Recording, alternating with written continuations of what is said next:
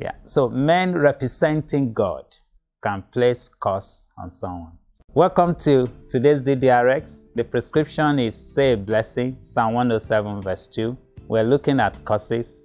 I have in the studio with me uh, Fopsy.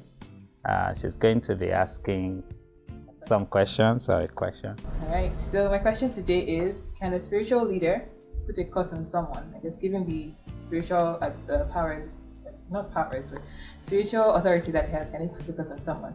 Yeah. So men representing God can place curse on someone. So curses can proceed from from them, from such people. And let me give you an example from Joshua 6:26.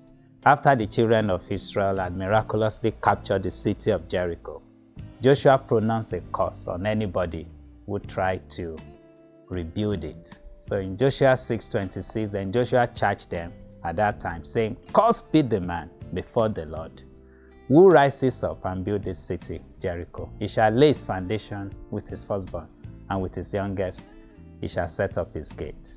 So that curse was pronounced about 1300 BC.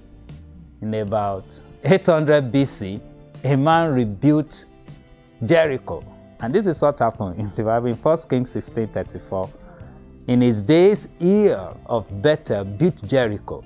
He laid his foundation with Abiram, his firstborn, and with his youngest son, Segub, he set up his gates, according to the word of the Lord, which he had spoken through Joshua, the son of Nun.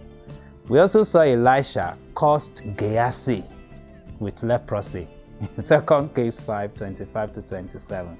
Jesus even cursed the fig tree in Mark 11 12 to 13. David, King David, also cursed Mount Gilboa. This is what David said after he heard the news of the death of Saul, the king, in 2 Samuel 121.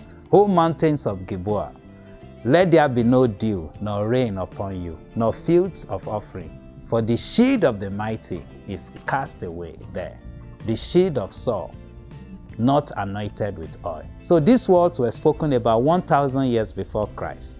Today, 3,000 years later, there is no green vegetation on mountain of Gilboa in Israel.